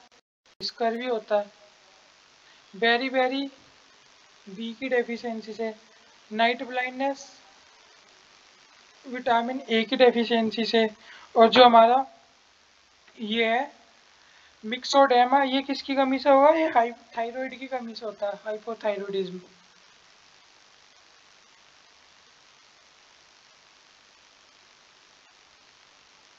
हाइपोथायरॉइडिज्म एक है एंटीटॉक्सिन सीरम प्रोवाइड जो एंटीटॉक्सिन सीरम है, कैसी इम्यूनिटी प्रोवाइड करता है? एक्टिव इम्यूनिटी पैसिव इम्यूनिटी या रेजिस्टेंस ये सब कुछ प्रोवाइड करता है। तो क्या है सबको पता होगा जी सीरम वगैरह होते हैं पैसिव इम्यूनिटी प्रोवाइड करते हैं हमें। मैंने बता रखा है ना, एक इन्नेट इम्यूनिटी एक इन्नेट इम्यूनिटी होती है, एक एक्वायर्ड इम्यूनिटी होती है। ये भी आपस में फिर दो भागों में बटी होती है एक्वायर्ड और आ, क्या नाम है? वो सॉरी एक्वायर्ड इन्नेट तो हो गया एक्टिव और passive the constituent of vital enzyme carbonic anhydrase is जो कंस्टिट्यूएंट है वाइटल एंजाइम कार्बोनिक एनहाइड्रेस इसका कौन है? ये हमारा जिंक होता है इसका। एक वाइटल मतलब कॉन्स्टिट्यूएंट एक इम्पोर्टेंट कॉन्स्टिट्यूएंट होता है क्या? जिंक। नेक्स्ट है intrinsic factor of absorption of iron iron के एब्जॉर्प्शन में महत्वपूर्ण भूमिका कौन निभाता है? तो कौन निभाता है? विटामिन बी ट्वेल्व मैंने इससे पिछली मैराथन में भी क्या है सारे विटामिन और इनके नाम लिखवा दिए थे तो अब मैं बोल देता हूँ। और पिछली मैराथन में आप देख लेना, सबसे लास्ट टॉपिक जब मैराथन एंड होने से पाँच मिनट पहले करवाया था तो देख सकते हैं। विटामिन बी ट्वेल्व जिसका नाम क्या है? कोबालमिन के होता है नाम। बाकी का भी देख लेते हैं। विटामिन बी सिक्स का क्या होता है? पायरिडोक्सिन विटामिन ए का रेटिनोल विटामिन डी का कैल्सीफेरोल जो आईयूसीडी होते हैं, ये कॉन्ट्रासेप्टिव होते हैं बिकॉज़ ये क्या करते हैं? ये ओविलेशन से बचाते हैं। या ये एंट्रियोफिस्फम को prevent entry of sperm uterus prevent implantation of fertilise ovum या in interfere with menstrual cycle क्या करते हैं ये हमारे?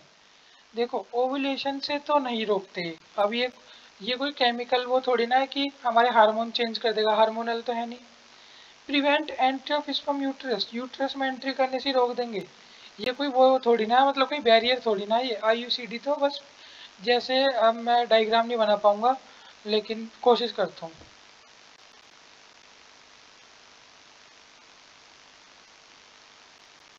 ये ये fallopian tube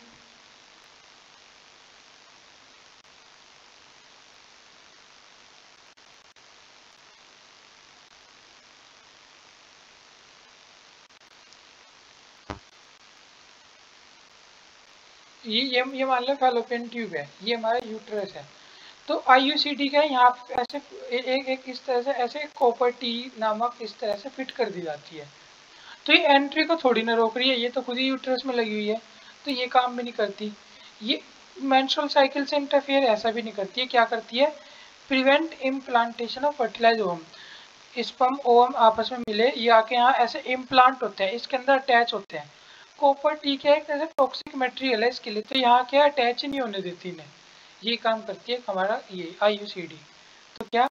Prevent implantation of fertilise ovum जो ओवम फर्टिलाइज तो हो गया। यहाँ फर्टिलाइजेशन तो हो गया फेलोपिन ट्यूब के इसमें इलियम स्टिमिस जंक्शन के अंदर।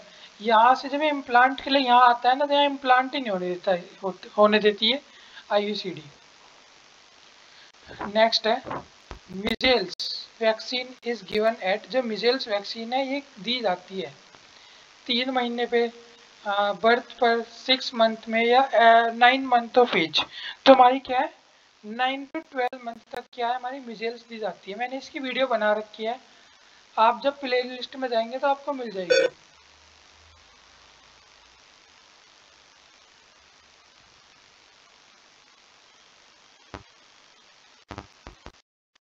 all of are following disease except ये सब क्या? सारी कॉन्टेजीनियस डिज़ीज़ है, सिवाय एक को छोड़कर। तो कौन सी है हमारी? पोलियो ये क्या हमारी? बाकी सब क्या? एड्स हुआ ट्रैकोमोवाल एब्रोसी हुआ कॉन्टेजीनियस डिज़ीज़ है, लेकिन पोलियो नहीं। एड्स का तो पता ही है ना acquired immunodeficiency syndrome trachoma eyes की होती है। Leprosy mycobacterium leprae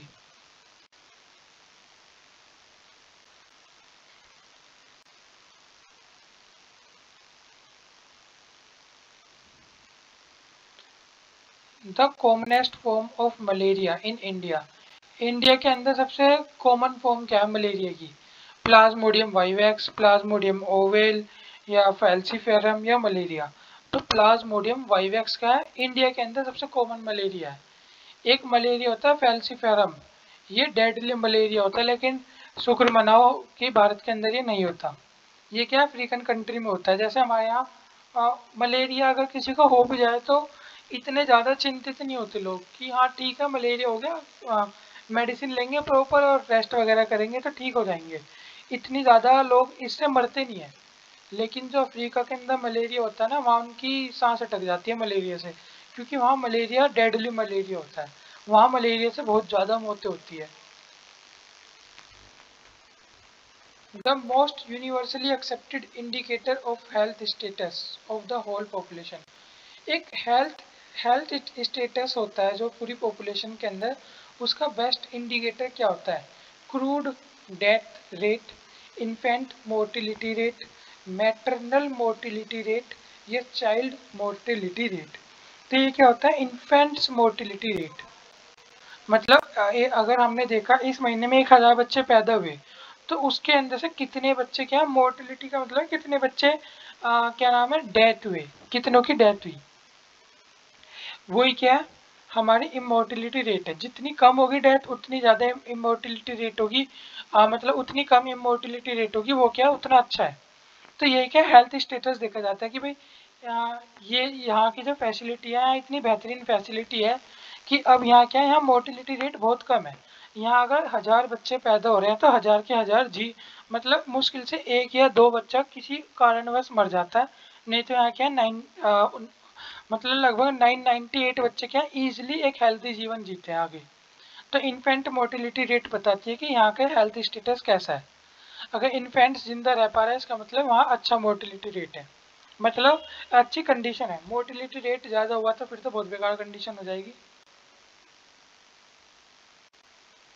एपीडेमियोलॉजिकल ट्रेड जो एपीडेमियोलॉजिकल ट्रेड है, ये कुछ नहीं, एक ट्रायंगुलर वो होता है। एक तरह से इकोसिस्टम ही होता है, इसके अंदर एजेंट होते हैं होस्ट होते हैं और क्या एनवायरनमेंट इन तीनों से मिलकर बनता है कि हमारा epidemiological triad state of social dysfunction social dysfunction किसे माना जाता है? ये माना जाता है हमारे सिकनेस को, बीमारी को। मतलब एक तरह से फीलिंग नॉट हेल्दी इसे बोलते हैं सिकनेस मैंने एसेंशियल नॉन एसेंशियल पे वीडियो बना रखी है पूरी। तो आप वो भी देख लेना प्लीज़ बायोकेमिस्ट्री की प्लेलिस्ट में आपको मिल जाएगी। तो all are essential amino acid except सभी एसेंशियल अमीनो एसिड है, सिवाय एक को छोड़कर। ल्यूसिन लाइसिन फिनाइल एनालाइन ये तो सब एसेंशियल है ही, लेकिन ट्रायोसिन नहीं है एसेंशियल अगला कह रहा है all are non essential amino acid except one सभी नॉन एसेंशियल है, सिवाय एक को छोड़कर। तो ट्रायोसिन चेराइन ये हमारे ग्लाइसिन ये तो नॉन एसेंशियल है ही। यहाँ हम पढ़ के आए हैं, ये क्या है? वेलाइन वेलाइन क्या है? एसेंशियल अमीनो एसिड है। मैंने इसके ऊपर वीडियो बना रखी है तो मैं यही आपसे एक तरह से क्या बोलते हैं, दरख्वास्त बोलते हैं ना? हाँ जो भी है वो समझ लेना और कर लेना। मतलब वहाँ जाके वीडियो देख लेना, कहने का मतलब सिर्फ़ इतना सा है। Which of the following has the highest amount of polyunsaturated fatty acid? इसके अंदर सबसे ज़्यादा अमाउंट में क्या है? पोली अनसेचुरेटेड फैटी एसिड होता है। ये होता है हमारा सनफ्लावर ऑयल से। ये भारत अब तक सबसे ज़्यादा कहाँ से इम्पोर्ट करता था? यूक्रेन से। लेकिन अब यूक्रेन में क्या है, वो सबको पता है वहाँ युद्ध चल रहा है। इसलिए भारत को क्या है, ये मिल नहीं रहा है। और देखो, भारत की विडम्बना क्वेश्चन तो हो गया। ये हम कहाँ से लाते थे? यूक्रेन से। ये हम कहाँ से लाते थे? साउथ अमेरिका साउथ अमेरिका वही है वो ब्राज़ील, चिली ये वाले तो देश हैं यहाँ से। पाम ऑयल कहाँ से लाते थे? ये लाते थे हम इंडोनेशिया से। मलेशिया से। अब यहाँ तो क्या युद्ध चल रहा है? इसलिए यहाँ से हमें क्या है? मिल नहीं रहा कुछ भी। मतलब यहाँ से तो सनफ्लावर ऑयल आ ही नहीं रहा जब रशिया, यूक्रेन आपस में भिड़ गए। जो सोयाबीन लाते थे। हमारे देश में भी होता है, लेकिन इतना नहीं होता, इसलिए हम लाते थे। साउथ अफ्रीका से सॉरी साउथ अमेरिका से यहाँ क्या अकाल पड़ गया। इसलिए यहाँ प्रोडक्शन अच्छी नहीं हुई। और जो इंडोनेशिया था, इंडोनेशिया ने क्या, यहाँ से सबसे ज़्यादा मंगाते थे हम। यहाँ क्या इसने बैन लगा दिया, हम एक्सपोर्ट ही नहीं करेंगे इसे। तो भारत के यहाँ ये खाद्यान्न संकट आ गया इनके चक्कर में। इनके उसके चक्कर में कोई बेच के राज़ी नहीं है, किसी के यहाँ अकाल पड़ गया, कोई युद्ध में लद गया। और इसके बीच में सफ़र कौन कर रहे हैं? भारत के लोग। ठीक है।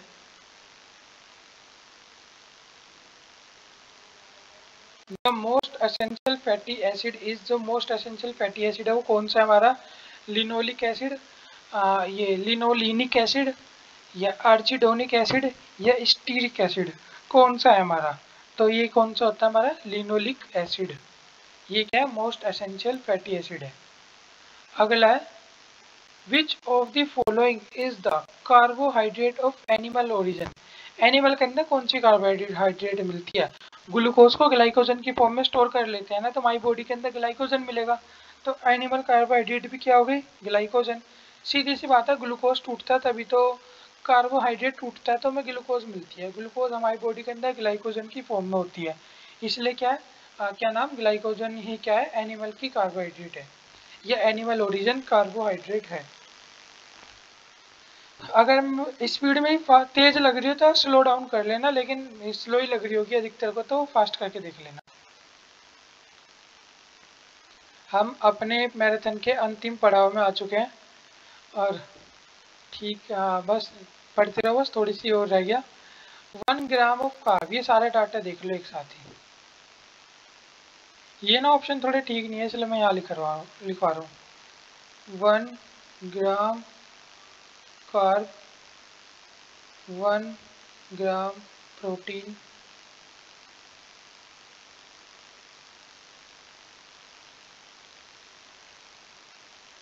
क्या हो गया?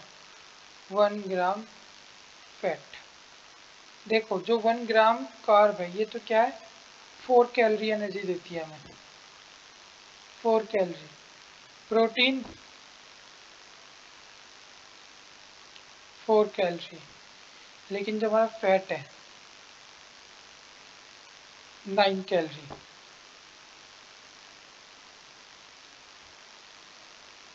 इसलिए अगर हम सेम अमाउंट में फैट खाएँ, प्रोटीन खाएँ काप खाएँ तो हमें क्या है, फैट हमें ओबीज बना सकता है। इसलिए हमारी जो डाइट का रेशियो होता है, वो भी क्या रखना चाहिए हमें? वन रेशियो थ्री रेशियो एक हेल्थी इंडिविजुअल की बता रहा हूँ, बाकी जिसके जैसे गोल्स है, ऐसे निर्भर करेगा। थ्री कार्ब क्योंकि भाई एनर्जी भी तो चाहिए। फैट और ये प्रोटीन अब जिसके जैसे गोल हो, उस हिसाब से वो अपना क्या प्रोटीन को चेंज कर लेता है। प्रोटीन की अमाउंट बढ़ाओगे, सीधी सी बात है कि हमारे अंदर क्या है हाँ मसल बिल्डिंग बढ़ेगी। कार्ब्स बढ़ाओगे तो क्या होगा वेट इंक्रीज होएगा। और फैट बढ़ाओगे तो मोटे हो जाओगे। लेकिन ये इस तरह से मोटे होके फ़ायदा नहीं है ये क्या है? मतलब फैट बढ़ाओ। हमारी बॉडी के लिए फैट बहुत ज़रूरी है, क्योंकि आपको पता होगा, जो विटामिन होते हैं, एक तो क्या होते हैं? वाटर सोल्यूबल होते हैं, एक क्या होता है? फैट सोल्यूबल होते हैं। और जो फैट सोल्यूबल विटामिन है ना, सबसे ज़्यादा इंपॉर्टेंट होते हैं, जो ए डी ई के के ई डी ए कीड़ा। ये क्या है? फैट सोल्यूबल विटामिन है। तो ये सबसे ज़्यादा इंपॉर्टेंट है बॉडी के अंदर। अगर फैट नहीं होगा तो ख़त्म काम। तो फैट होना भी ज़रूरी है। तो हमें अपनी डाइट में फैट भी लेना चाहिए, लेकिन कोशिश करें वो फैट कहाँ से आ रहा है, ये पता होना चाहिए हेल्दी सोर्स से। ज़्यादा बात नहीं करते। How much retinol is equal to one I U one I U unit के अंदर कितना रेटिनोल होता है? तो पॉइंट थ्री माइक्रोग्राम ये क्या हमारा रेटिनोल प्रजेंट होता है। आ, इसी के साथ साथ अगर पूछ लिया जाए ये तो क्या हो गया हमारा रेटिनोल हो गया। अगर बीटा कैरोटीन पूछ ले वन आई में तो 0.6 ग्राम होता है क्या beta carotene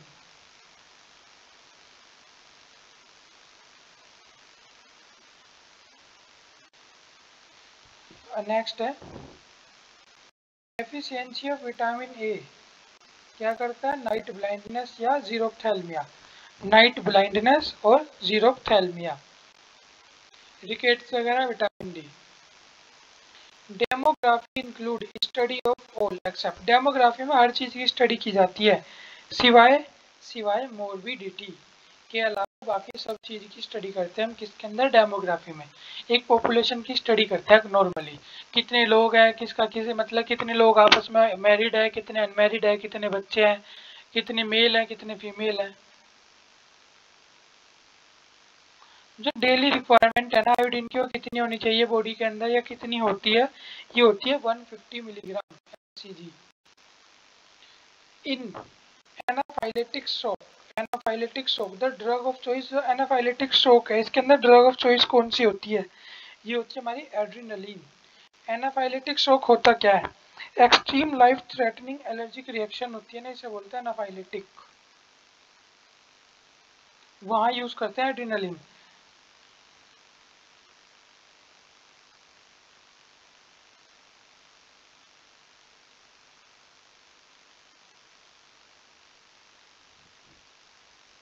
extreme life threatening allergic A double L E G I C allergic reaction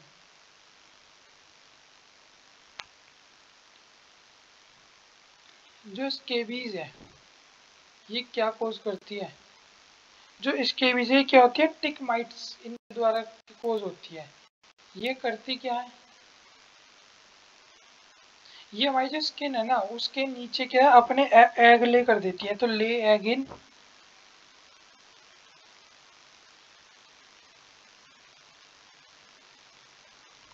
lay egg in beneath the skin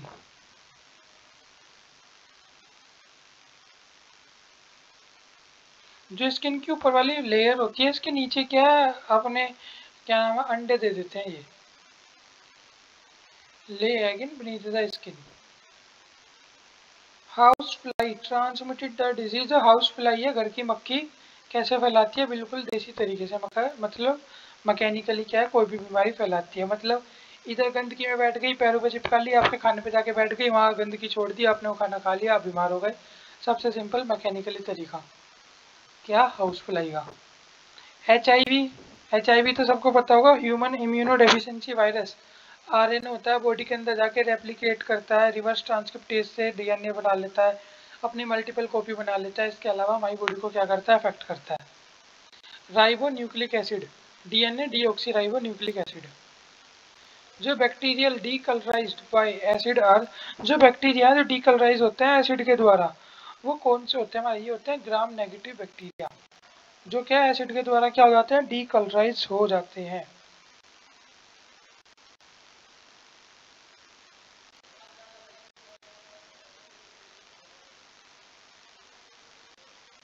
हम एंड पर गए तो बस कर रहे हैं खत्म।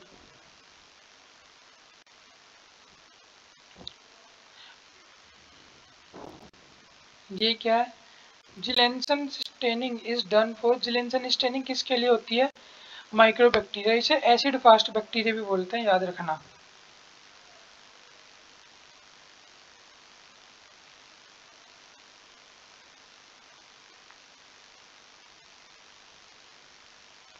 एसिड फास्ट बैक्टीरिया जो इंक्यूबेशन पीरियड होता है किसका? मिजेल्स मिजेल्स पता है ना आप तो? जो इंक्यूबेशन मिजेल्स वही वाला आ, क्या नाम है रुबेशिया वायरस से होता है जो हमारा इसका इंक्यूबेशन पीरियड कितना होता है? लगभग दस दिन। जो इन्फ्लुएंजा है ये कैसे फैलता है? तो सबको पता है छींकने वीकने से क्या फैल जाता है? इन्फ्लुएंजा ड्रॉपलेट इन्फेक्शन इंजेक्शन ये इन्फेक्शन है ठीक है? इन्फेक्शन लिख दो नहीं तो कभी कोई इंजेक्शन नहीं सोच ले वो तम बोल बोल के आ गए इसलिए हमारी थोड़ी ये जो है, मैराथन इसका लेंथ थोड़ी कम होगी। जैसे हमने स्टार्टिंग में लिख के, फिर बाद में जो हमने पहले लिख रखा था, हमने बोल बोल के कर लिया। तो इससे नुकसान भी नहीं हुआ किसी का। और हमारा जो वो था, ये भी थोड़ा बच गया। नहीं तो टाइप करने में टाइम तो वेस्ट होता ही है। मतलब वेस्ट नहीं होता। वेस्ट कुछ भी नहीं होता। टाइम यूटिलाइज ही होता है। लेकिन ठीक है, अभी हमारे पास टाइम को देखते हुए हमें पाँच पाँच छः छः घंटे की मैराथन नहीं करनी, हमें छोटी छोटी मैराथन ही रखनी है, ज़्यादा नहीं। वूपिंग कफ अफेक्ट चिल्ड्रन जो वूपिंग कफ है, जो वूपिंग कफ है, वो परट्यूसिस जिसका टीका लगता था डी पी टी परट्यूसिस वाला है, वो कितने, कौन से चिल्ड्रन को अफेक्ट करता है? ये ज़ीरो से एक साल तक के बच्चों को अफेक्ट करता है। बाकी वो तो क्या है इम्यूनिटी आ जाती है, लेकिन जो ज़ीरो से एक साल तक के बच्चे होते हैं इनके अंदर भी इम्यूनिटी डेवलप नहीं हो पाती तो इन्हें क्या ये इफ़ेक्ट करता है? वूपिंग कफ होता है, अगर मैं बहुत सिंपल भाषा में बताऊँ, वो खांसी नहीं होती, जिसे वैसे मजाकिया लहजे में बोल देता है क्या कुत्ते वाली खांसी हो रही है? तो ऐसी सी होती है खांसी वूपिंग कफ लेकिन ये ये नहीं इसका कोई कुत्ते से संबंध हो, ऐसी मजाकिया लहजे में बोल देते हैं तो ठीक है। एस्करियासिस वही राउंड होम वाला। इस ट्रांसमिटेड थ्रो जो एस्करियासिस है, किसके द्वारा फैलता है? ये फैलता है कच्ची सब्ज़ी और सलाद को बिना अच्छी तरह से धोए। अगर खा ले तो क्या फैलता है? एस्करियासिस फैलता है। रो वेजिटेबल्स एंड स्लैड्स या salads source of infection of plague plague किससे फैलता है? रोडेंट से हाँ। रेड से हाँ। न्यूमेटिक प्लेग केस से हाँ। All of the above leprosy किसे इफ़ेक्ट करती है? नर्व स्किन को करती है मस्कुलर मसल्स बोन को करती है टेस्टिसाइज को करती है, सब चीज़ को करती है मतलब all of the above gonorrhoea can be treated easily by gonorrhoea को इजिली ट्रीट किया जा सकता है किसके द्वारा? ये क्या क्लोट्राइमेक्साजोल देखा होगा बहुत सारी स्किन डिज़ीज़ में यूज़ करते हैं। स्किन इन्फेक्शन वगैरह में दाद खाद खुजली में भी करते हैं। गोनेरिया क्या इजिली ट्रीट किया जा सकता है इस मेडिसिन से। Cancer is cause by cancer किसके द्वारा होता है? तो मैंने आपको पहले बताया था, हर चीज़ से कैंसर होता है। डाइटली, डाइटरी फैक्टर हो, कुछ भी खा रहे हो, टबैको से तो होता ही है और केमिकल वगैरह से भी होता है, सनलाइट से भी होता है, हर चीज़ से होता है कैंसर। रूमेटिक हार्ट डिज़ीज़ आपने सुना होगा रूमेटिक अर्थराइटिस ये रूमेटिक तो जॉइंट से रिलेटेड हुआ हमारे बोन से जॉइंट से। हार्ट डिज़ीज़ हमारी हार्ट से रिलेटेड हुई। तो ये क्या हो गया हमारा? हार्ट एंड जॉइंट डिज़ीज़ बस हम अंतिम पड़ाव पे आ गए थोड़ा सा हो जाएगा।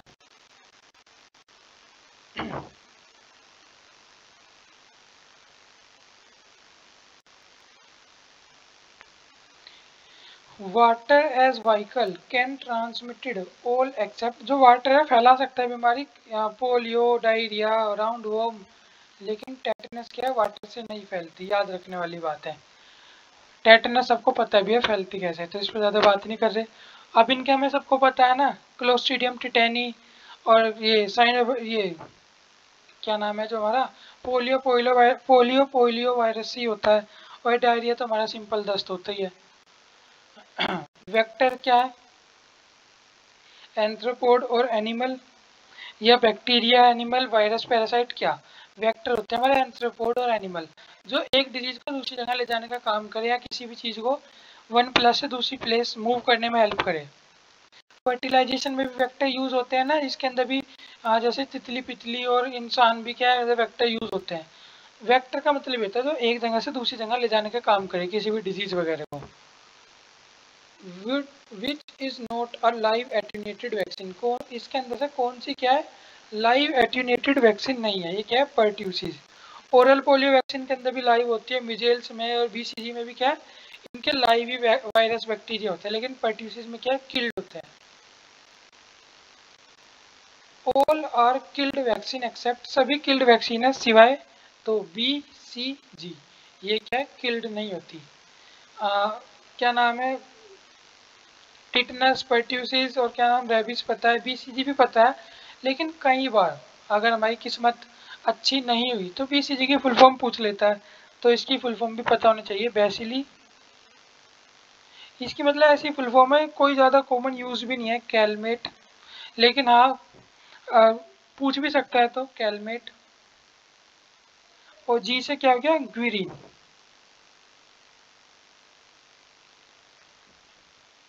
ये हो गया हमारा आज की मैराथन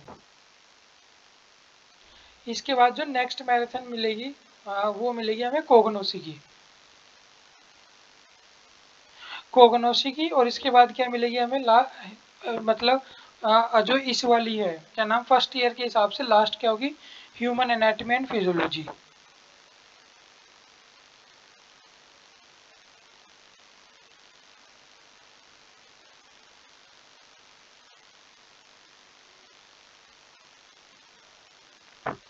पहले कोगनोसी की मैराथन मिलेगी और फिर ह्यूमन एनाटमी एंड फिजियोलॉजी की मिलेगी।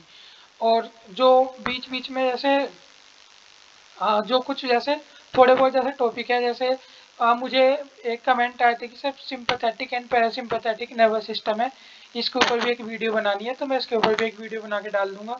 इस तरह कोई ए, एक एक दो दो टॉपिक अगर ऐसा मिला तो उसके ऊपर भी डाल देंगे वीडियो बना के। बाकी मैराथन हमारी कोगनोसी की और ह्यूमन एनाटमी की। आ, आज जैसे ए, एक मैराथन तो हमें मिल गई।